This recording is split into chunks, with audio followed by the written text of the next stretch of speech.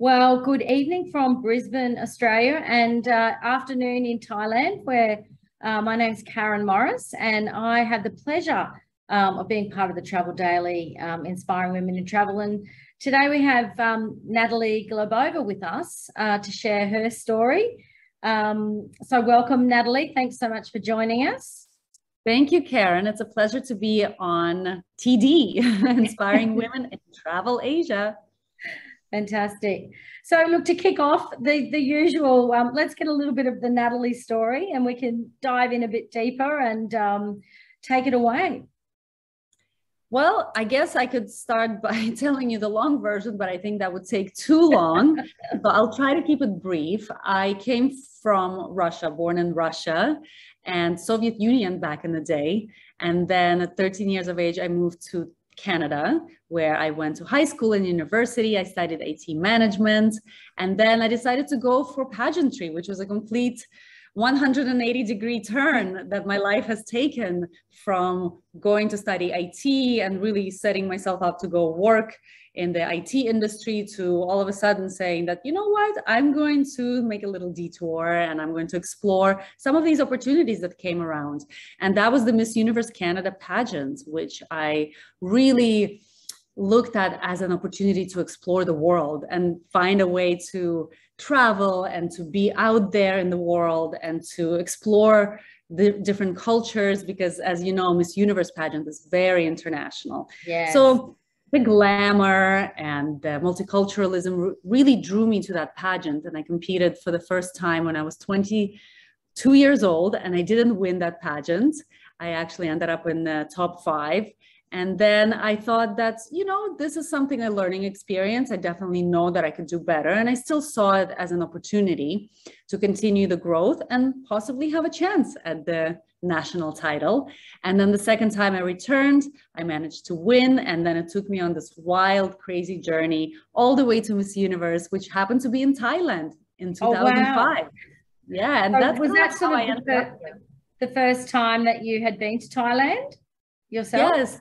It was the first time that I came to Thailand for the pageant, and it was such a beautiful experience. I felt like I was in a fairy tale. It was this enchanted land with all these different foods and different culture and beautiful people. And so I fell in love with this country and I ended up moving here right after my year was finished. I had to spend a year in New York living and working there for the Miss Universe yes. organization. And then I decided to come back to Thailand because I felt there was something more that I could do here, something more I could explore here. And my heart was just really calling me move and it's going to be for one year and it's been already 16 years. oh, wow. What a great story that um, that path of pageantry and, and that journey that you were on, it really did lead to igniting that travel. And then you've ended up living in Thailand. And I agree, it's such a beautiful place. And when you arrived in Thailand, was there, I, I see you were involved in, what, what, led you to get involved in some of the um, the movements that you were involved in or a spokesperson for? I, I think I read in your hmm. bio.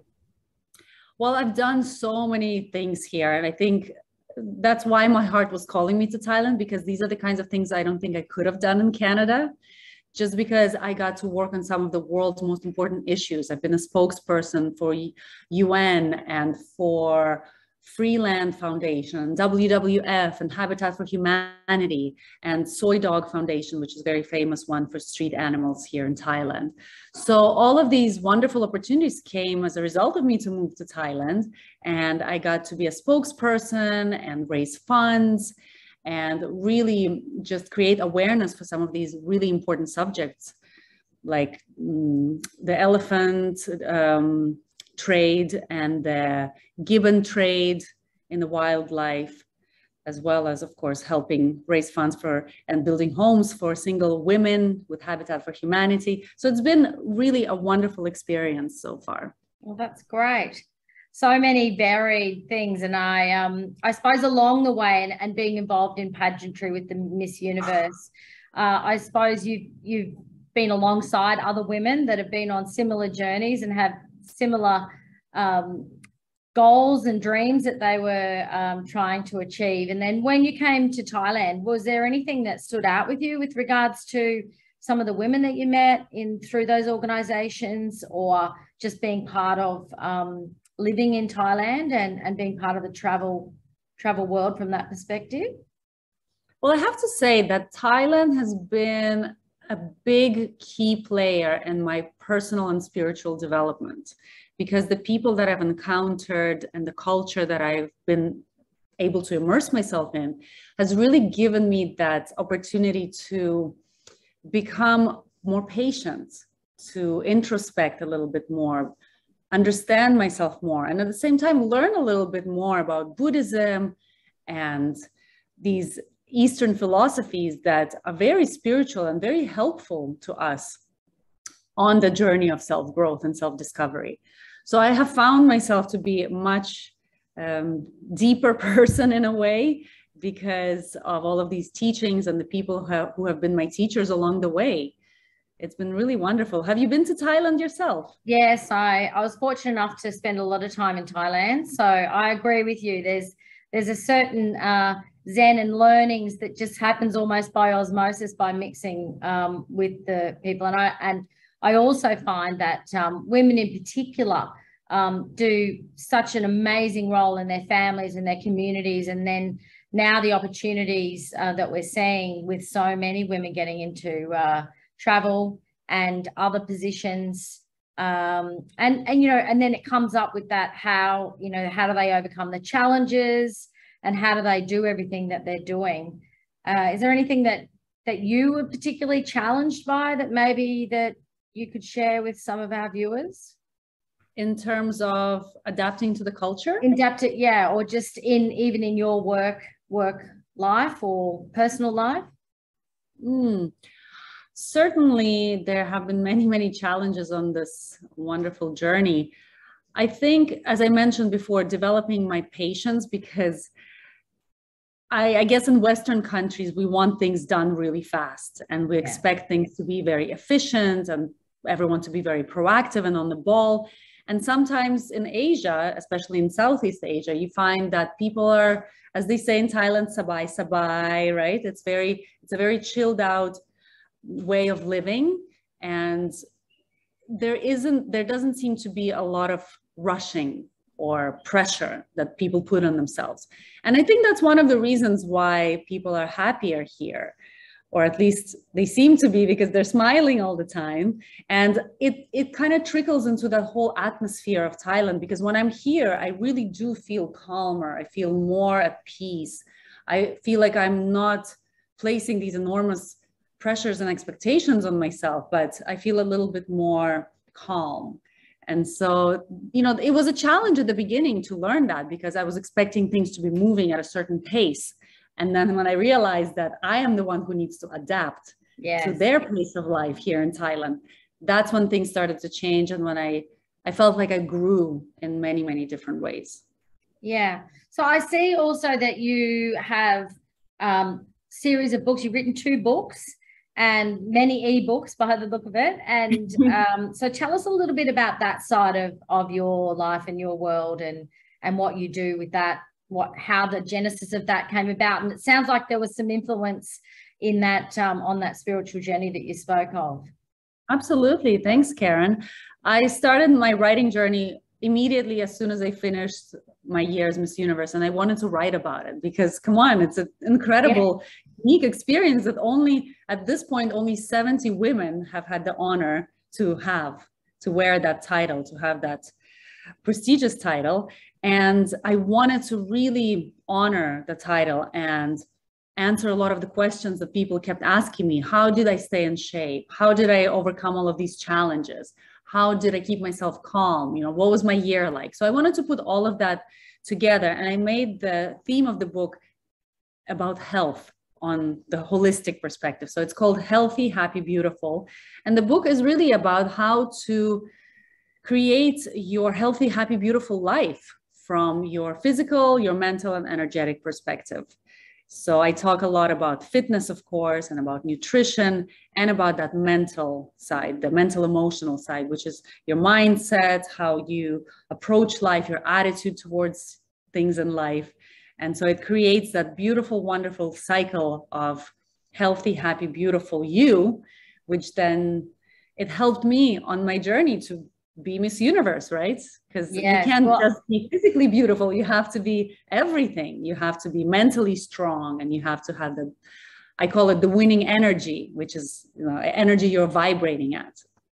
So yes, that was my can't, can't do that uh, just with one single focus. That's all about the balance. But that's something we probably have learned a little bit on one side of this in the in the last couple of years we've probably had to to dig deep in that and, and have a look at how do we have that balance. Although it's been forced upon us um, in the last couple of years but I, I love that that uh, that you dig into that. And when you were just this just looping back to to the miss universe um, just tell us some insights of of what that year was like and what you what you learned or what were the what were your biggest takeaways now that you reflect back on that?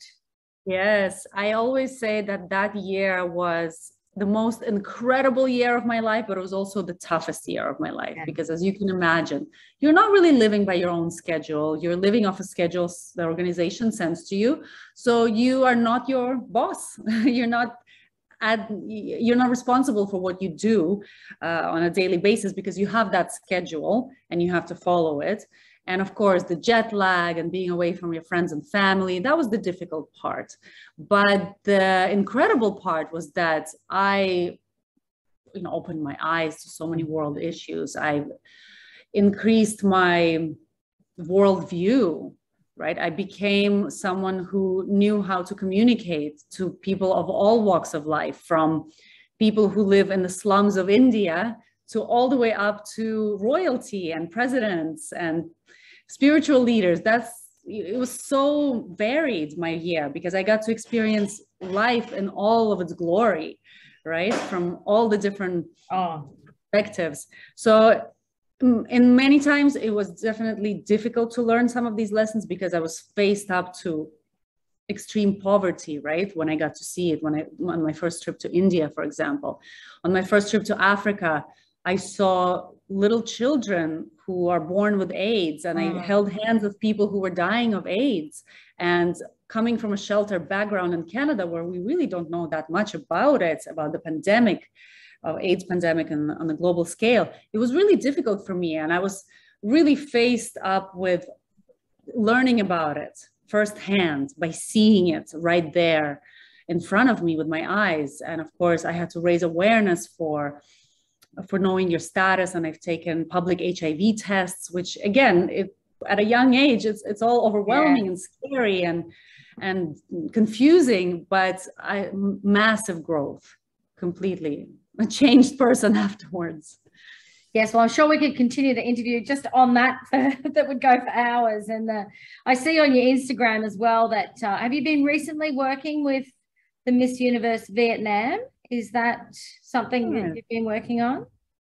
Yes, I got the honor and was invited to be a judge at this year's Miss Universe Vietnam pageant, where they're going to choose the representative to go represent Vietnam at the universe stage. So Miss Universe is going to be sometime later on this year, but we're choosing the best woman for the job, and I am one of the jury members. So it's really oh. exciting. Very exciting. and I, I, I did have a scan through. I was fangirling a little bit as I scrolled through, but I, there was one picture that jumped out at, at me. I think you were um, doing a masterclass or some sort of information where you had all the bright, young, beautiful faces in front of you just and and you were talking about is it how to win the crown is that that's your instagram segment that you do or was that a masterclass yes. that you ran well, exactly yes it's my masterclass is called Win the Crown, where I teach young women how to become their most evolved, high vibrating, authentic versions of themselves so that they have the best chance to win the crown. And it's a very holistic approach as well to, to that masterclass, because as I say, we are not just physical beings, right? We're also energetical beings. And when you don't take that into consideration and you completely ignore that whole aspect of your being, then you are really selling yourself short. You're not preparing in the most effective way. So I incorporate a lot of mindfulness, meditation, breath work, also checking in with your emotions and feelings and going into your subconscious mind to understand where your fears might be and where your limitations might be. So it's a whole holistic, I call it holistic and integrative approach to pageant training, which I think is uh, the first one ever in this industry because people don't really see pageantry as a way to also grow yourself spiritually.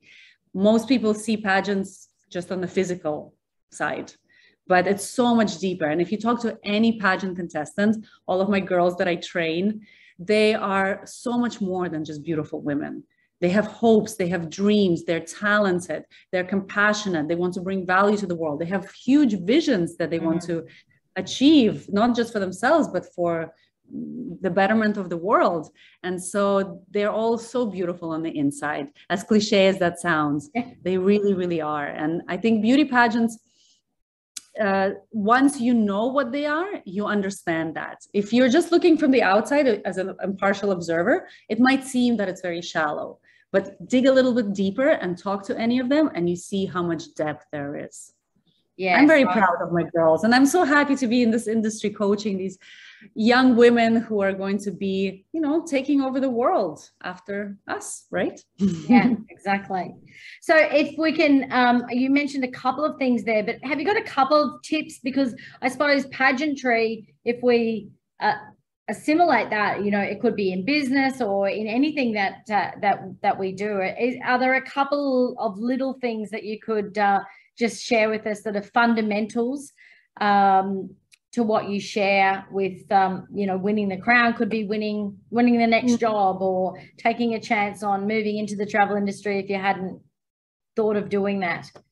Yeah sure. And that's actually the book that i wrote the second book i am winning is all about that. Is not just how to win in, in a pageant how to win the crown but it's more about how to win in life how to be a winner that we all have inside of us because it's not anything about your financial situation or your background or your marital status or any of those things. It's really about your mindset. If you think like a winner, if you vibrate like a winner, you will be a winner.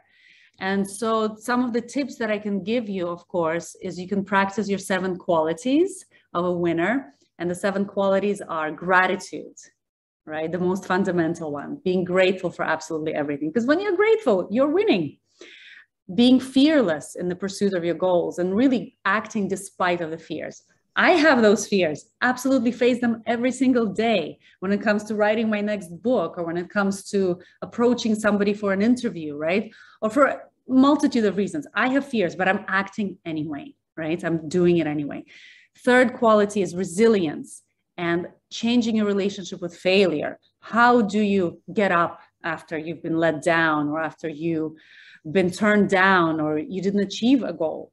How do you get up and keep moving forward? Maybe pivot to another direction or maybe just keep going and staying the course and being persistent. Then the fourth quality is curiosity. And that's something that's inherent to all of us, but we definitely can practice following our curiosity and finding out what sparks a fire, what lights a fire in our souls, because those are clues. Those are little bread breadcrumbs that the universe leaves for yeah. us, where we can say, "Oh, I'm curious about this. Okay, let me find out what it is," and it might lead you to places you never even knew could be possible. I'm so loving that. You, I'm loving that you have curiosity in there because I, I'm hearing that more and more in the business world as well as in personal growth and development. And I think it's it's such a a great gift to master. I suppose I, I, call it a gift because if you if you can master it, uh, and it also you know it gets you to know other people and builds connections. As you know, it's so powerful. Exactly, exactly. So all of these qualities they are already inherent to us, but we need to act on them and practice developing them. Just like curiosity is something that you could say, well, I'm curious, but I'm too, I don't know, I, I don't want to be bothered to learn about that. But if you are allowing that curiosity to spark your desire and move you, propel you forward, then that's where you can take action on those curiosities, which then can lead you to incredible opportunities. Then after curiosity, we have confidence, which is again something people think that you must be born with and you either have it or you don't well confidence can be practiced and confidence is a skill just like anything else. And the most important thing about confidence is really self-love. Once you have true self-love the confidence will shine through you. You don't even have to try anymore.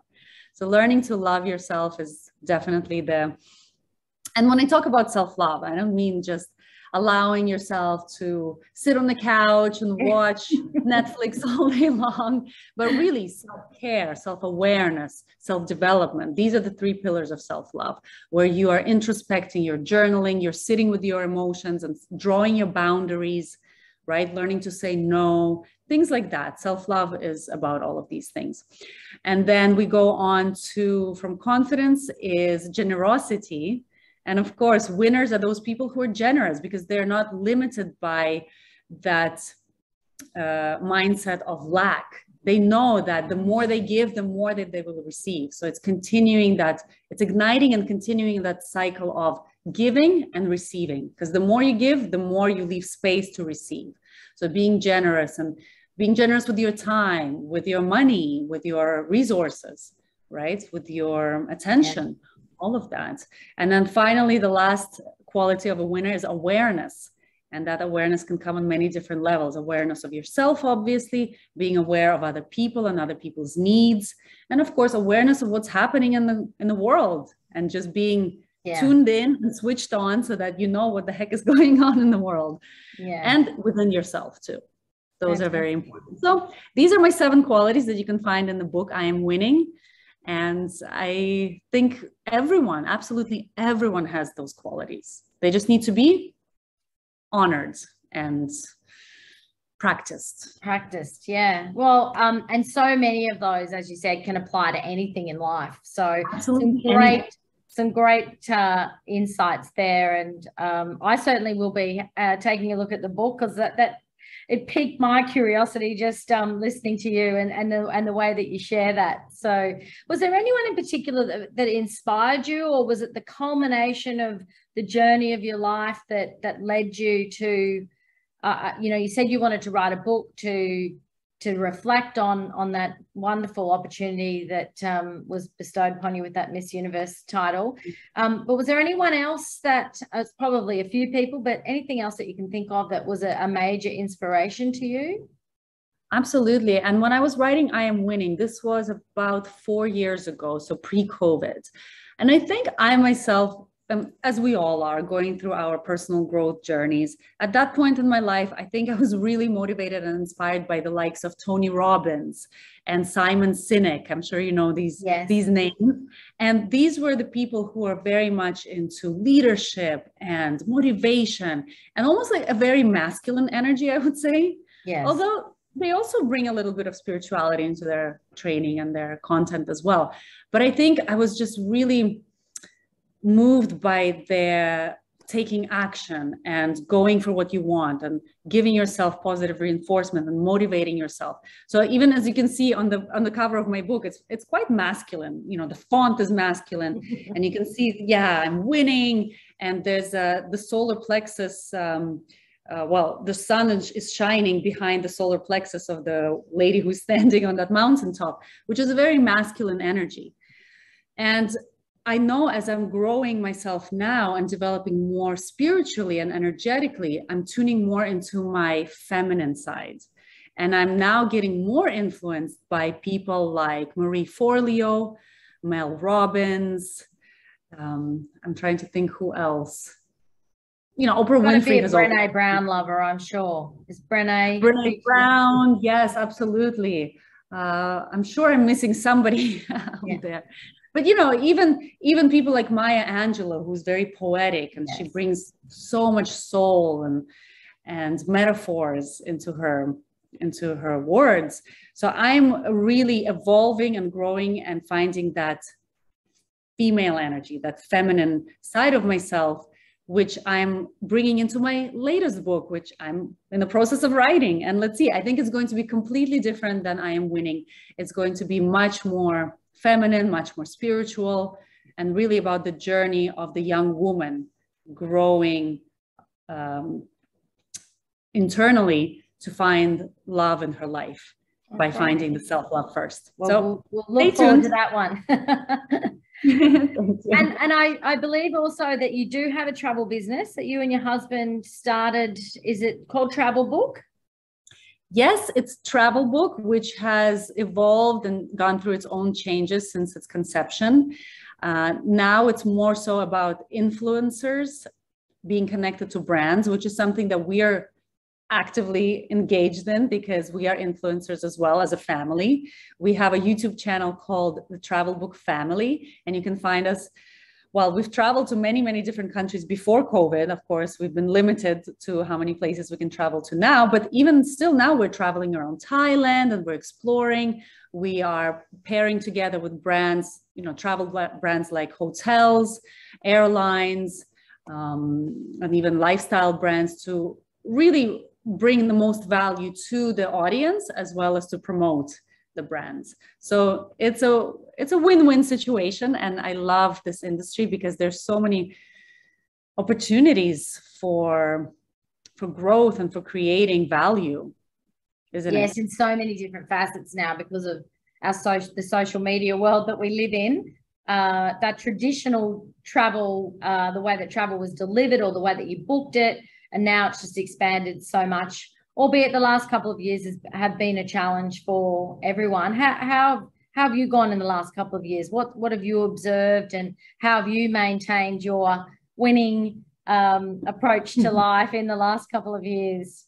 Yes the winning mindset was definitely challenged a few times throughout the last couple of years.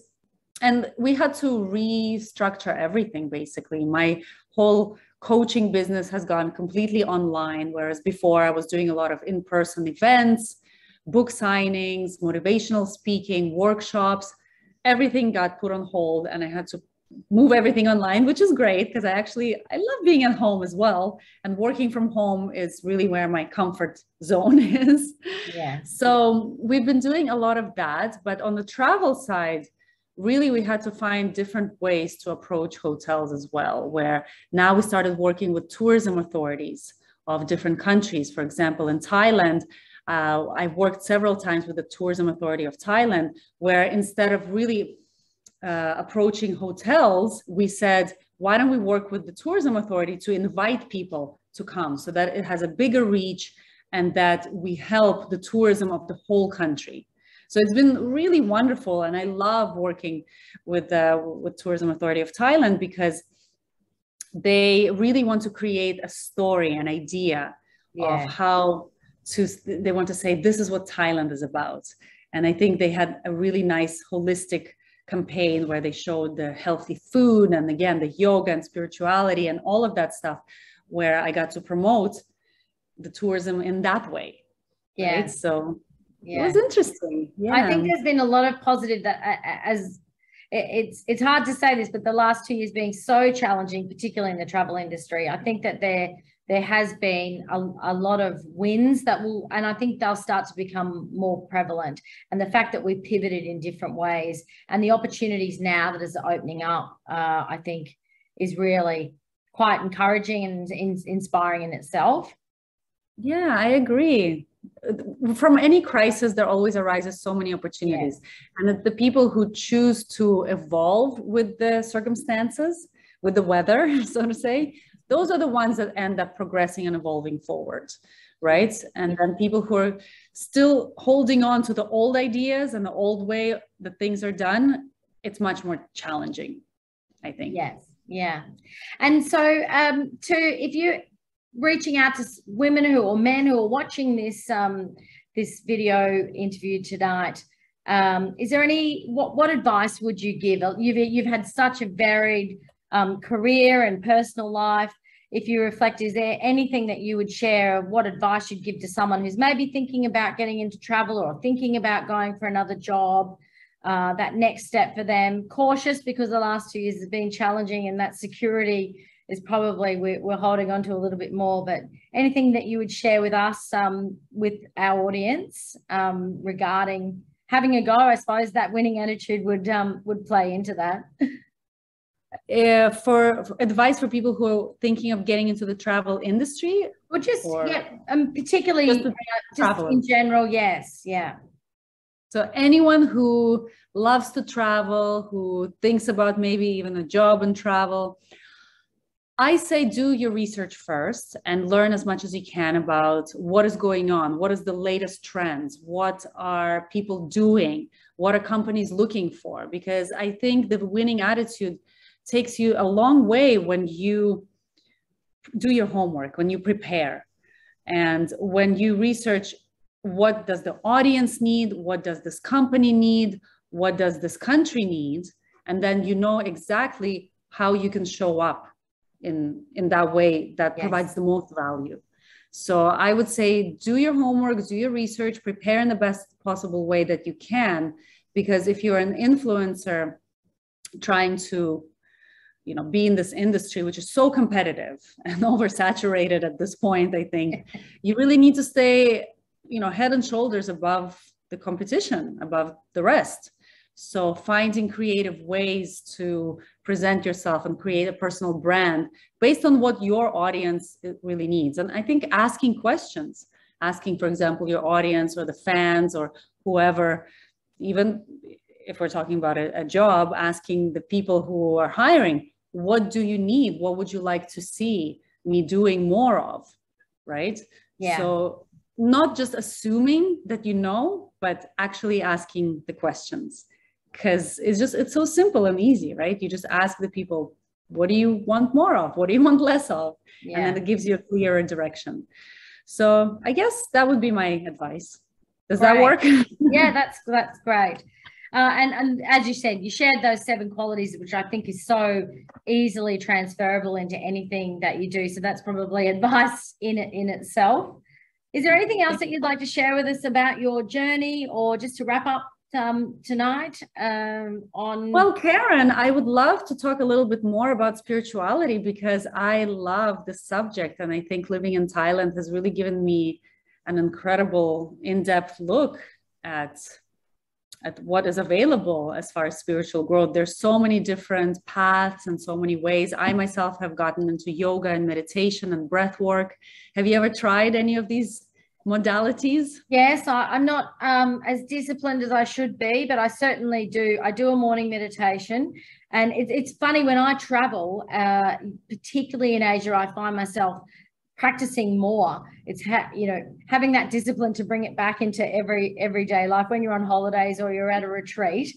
Uh, but yeah the breath work i've been doing a lot of work myself um, with regards to that um, emotional intelligence and and learning all about the brain and I, I, think the breath work is just so powerful how it taps into all of that um, the physiological side of understanding ourselves that then comes out in the emotional side of us and the breath work is so powerful with shifting your mindset which you would know much more than me i'm just on the surface of that but the oh, simple well, i'm still simple learning breathing.